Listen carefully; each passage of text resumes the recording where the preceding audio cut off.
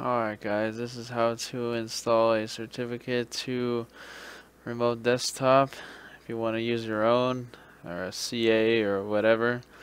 Um, just open the MMC, add remove snap-in, certificates, computer account.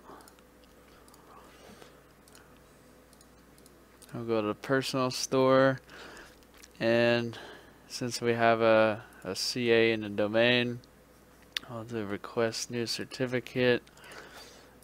Next next computer. So it should already be there.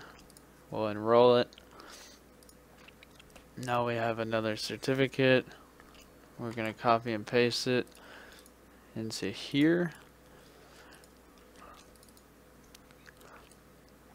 and then we'll get the thumbprint. Copy that into here. I'll put this command at the bottom as well. We have to get rid of all these spaces. And there's something here that you can't see. So delete on that copy paste this into administrator PowerShell.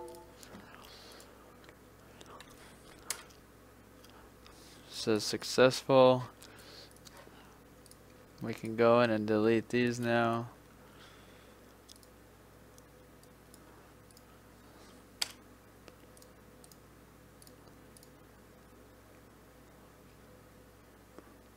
Not sure what that one is